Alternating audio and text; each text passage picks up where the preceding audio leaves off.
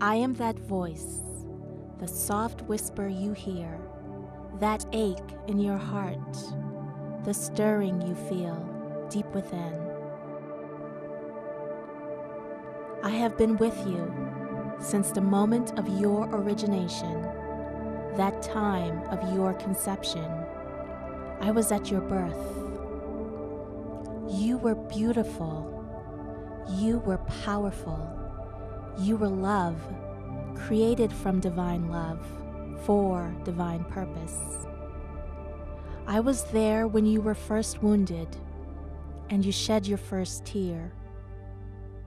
I was there when you were told to be quiet and when you heard, You're not good enough, not smart enough, that you're not the right shape or size, or even the right shade. That you were to act a certain way, that you were too much of this or not enough of that. I was there when you received the message that you are not worthy or deserving of love, that you should be afraid, you should feel guilty, that you should be ashamed. I was there when you then believed what you heard, and you became fearful, and you felt guilty, and you felt ashamed. I was still there as you were led further and further away. But now you are here, searching for me, saying that I no longer have to be quiet.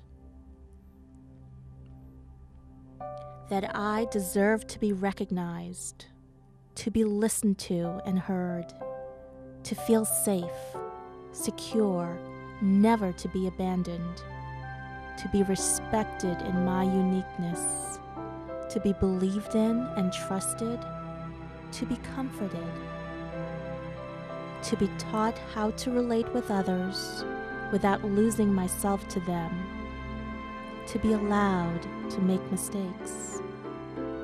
I now hear that I am good enough, that I have the most beautiful shape and the perfect shade, and I'm at the right size for who I am right now, for who I was meant to be. Now you say, Be not afraid. Do not feel guilty.